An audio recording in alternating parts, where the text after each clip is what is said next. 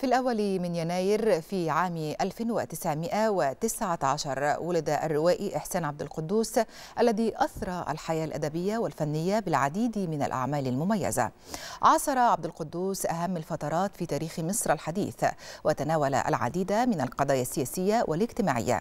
ومن أبرز أعماله الرصاصة لا تزال في جيبي وإمبراطورية ميم ولا تطفئ الشمس ولن أعيش في جلباب أبي.